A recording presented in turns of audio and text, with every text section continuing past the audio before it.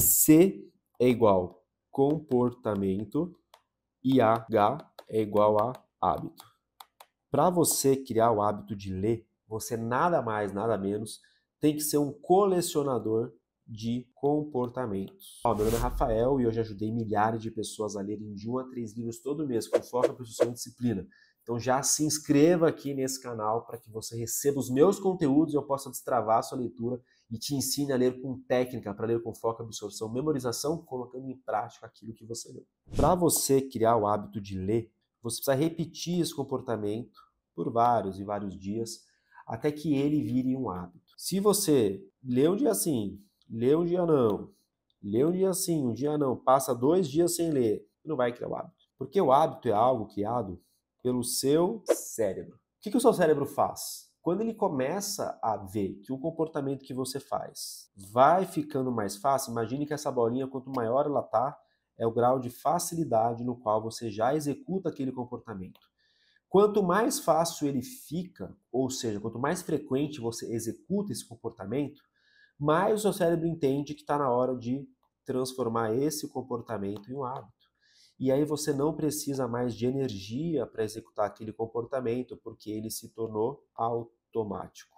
O seu cérebro faz isso para poupar energia, porque ele precisou ser assim lá desde quando ainda estava no tempo das cavernas, que a gente precisava gastar energia para caçar, para sobreviver, para se reproduzir, senão nossa espécie acabava.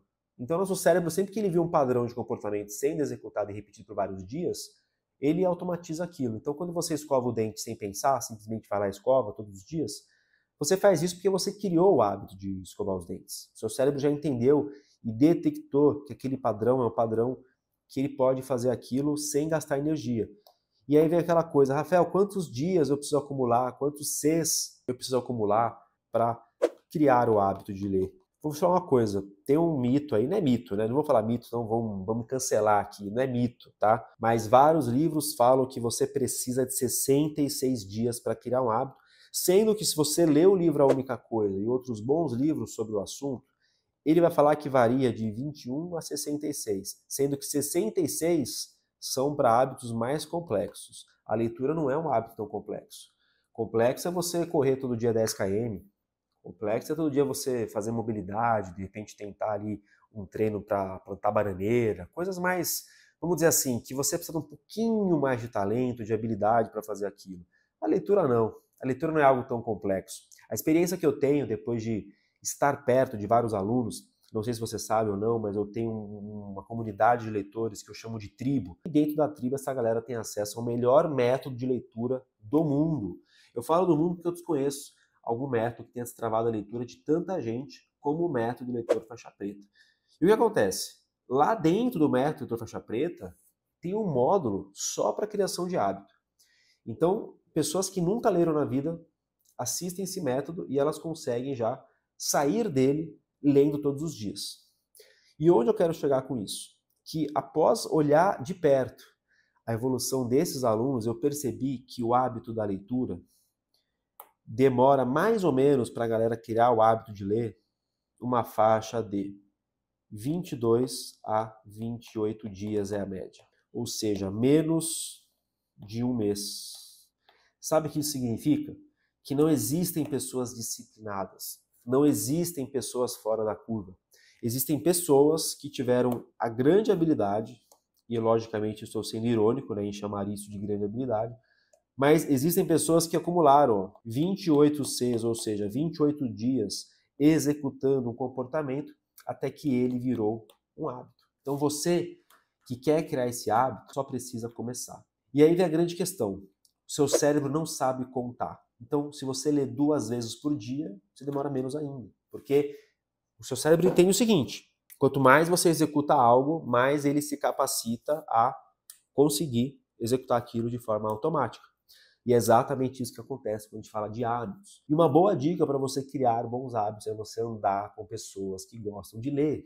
Se você não andar com pessoas que têm esse hábito ou que querem se desenvolver, que pensam fora da curva, que não querem ser como a maioria de pessoas que não estão nem aí, preguiçosas, que, cara, simplesmente deixam a vida levar. Tenho certeza que você tem uma série de companhias assim, de pessoas que não conversam sobre o futuro, não tem esperança de ah, tornar um funcionário melhor. Não, cara, a pessoa está no piloto automático, está tudo bem. Só que você só vai conseguir acumular isso aqui, ó, se você andar com pessoas que executam isso. Tem vários estudos que mostram isso. Tem vários estudos que mostram o quê? Que faz uma pessoa executar um comportamento é fazer parte de um grupo de pessoas onde todo mundo que está lá executa esse mesmo comportamento. Isso é muito difícil. Por exemplo, eu tinha feito uma, não é bem uma promessa, mas eu tinha meio que decidido que eu ia dar uma parada com a bebida. E aí, quando foi no sábado, eu fui numa festa, todo mundo bebendo, e quando eu peguei um copo, que era um drink que não tinha álcool, e aí a pessoa que estava comigo, né, amigo nosso, falou assim: ah, deixa eu dar um gole aí pra ver como é que é. Nossa, mas não tem álcool? Eu falei: não, não tô bebendo. Cara, parecia que eu era um ET no meio da festa. Você não tá bebendo, por quê? Fez promessa. Tá tomando antibiótico? Pressão social foi tão grande que eu quase bebi.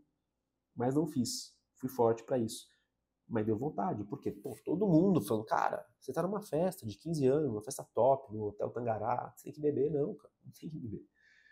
Agora, se eu tivesse num ambiente todo mundo tava com Heineken zero, seria sido mais fácil. Então o ambiente, ele faz a gente executar ações. Então você tem que andar com pessoas que gostam de ler. Cara.